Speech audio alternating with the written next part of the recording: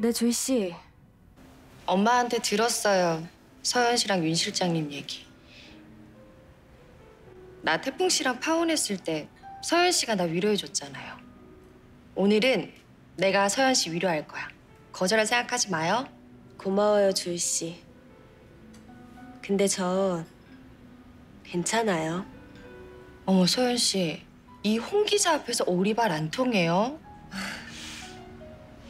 내가 술도 마셔보고 이래도 파묻혀 살아봤거든요.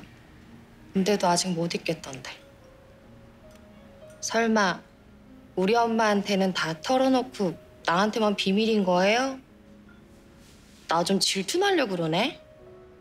그런 거 아니에요. 음, 저보다 대표님은 좀 어떠세요? 우리 엄마요? 대표님한테 들었어요.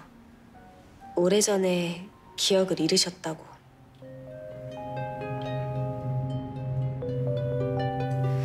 잃어버린 기억 때문에 요즘 힘들어 하시는 것 같아요. 걱정 마요. 우리 엄마 괜찮으니까. 대표님이 기억을 찾도록 도와드리는 건 어때요? 그럴 필요 없어요. 엄마 과거 알려주는 기록은 많으니까요. 기록이요? 우리 집에 남아있는 사진들, 돌아가신 아빠가 해주신 이야기들이요.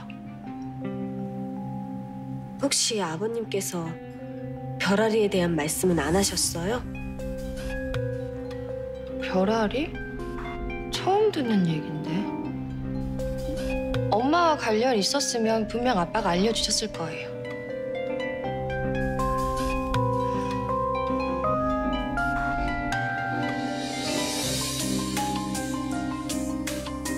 마 소장은 내 부모님의 사망 증거를 가지고 있고 대표님은 조이 씨 엄마인 게 분명하고 날 낳아주신 엄마는 정말 돌아가신 걸까?